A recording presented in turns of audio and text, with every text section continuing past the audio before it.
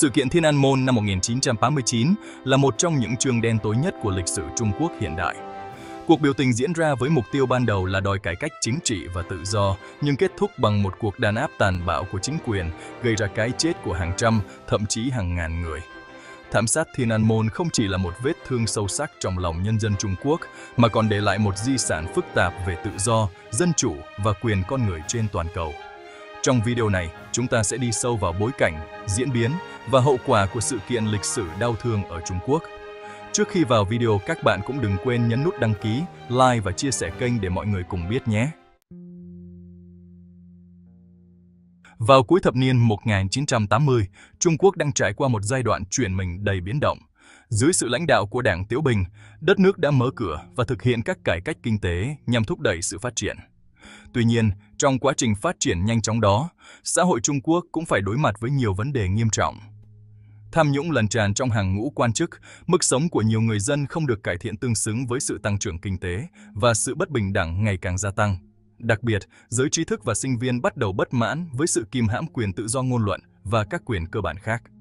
Tháng 4 năm 1989, cái chết của Hồ Diệu Bàng, một lãnh đạo cấp cao có tư tưởng cải cách và được nhiều người tôn trọng, đã châm ngòi cho các cuộc biểu tình quy mô lớn.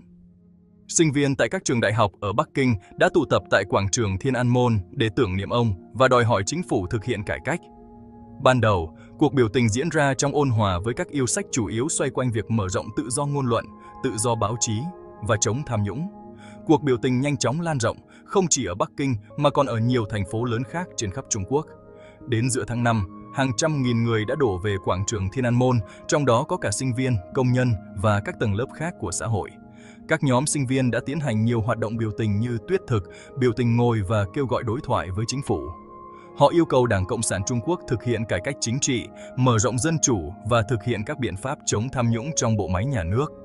Cuộc biểu tình càng trở nên căng thẳng khi chính quyền Trung Quốc dưới sự lãnh đạo của Đảng Tiểu Bình và Thủ tướng Lý Bang không đồng ý với các yêu sách của sinh viên. Trong nội bộ Đảng Cộng sản cũng có những chia rẽ sâu sắc về cách xử lý tình hình. Trong khi Triệu Tử Dương, Tổng bí thư Đảng Cộng sản lúc đó, chủ trương đối thoại ôn hòa với sinh viên, thì các nhà lãnh đạo cung rắn khác, bao gồm Lý Bằng, lại muốn sử dụng biện pháp mạnh mẽ để dẹp bỏ cuộc biểu tình. Ngày 20 tháng 5, chính phủ Trung Quốc ban bố thiết quân luật tại Bắc Kinh, điều động hàng ngàn binh lính và xe tăng đến thành phố. Tuy nhiên, người dân Bắc Kinh đã chặn các lối vào trung tâm thành phố, ngăn chặn quân đội tiếp cận quảng trường Thiên An Môn. Trong suốt nhiều tuần, quân đội không thể tiến vào được quảng trường do sức ép từ người biểu tình và sự phản đối của cư dân. Rằng sáng ngày 4 tháng 6 năm 1939, chính phủ Trung Quốc đưa ra quyết định đàn áp bằng vũ lực, quân đội Giải phóng Nhân dân Trung Quốc được trang bị xe tăng và vũ khí hạng nặng tiến vào quảng trường Thiên An Môn với mục tiêu giải tán cuộc biểu tình.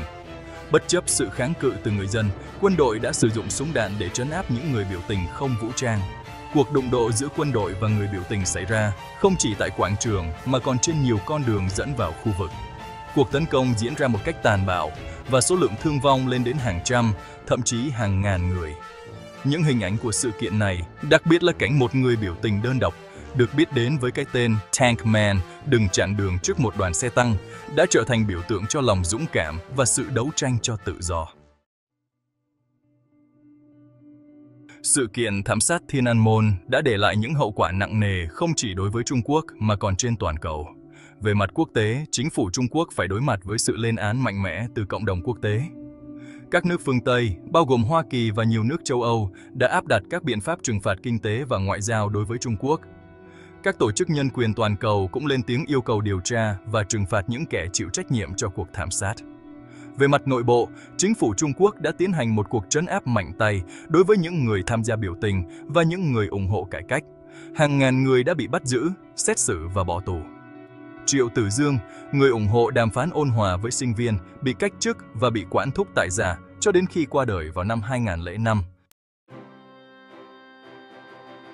Tuy nhiên, sau cuộc đàn áp, chính phủ Trung Quốc đã thực hiện các biện pháp kiểm soát xã hội chặt chẽ hơn. Truyền thông và giáo dục chính thức trong nước gần như không nhắc đến sự kiện này. Mỗi năm vào dịp kỷ niệm ngày 4 tháng 6, chính phủ Trung Quốc tăng cường các biện pháp an ninh và kiểm soát để ngăn chặn bất kỳ cuộc tưởng niệm nào.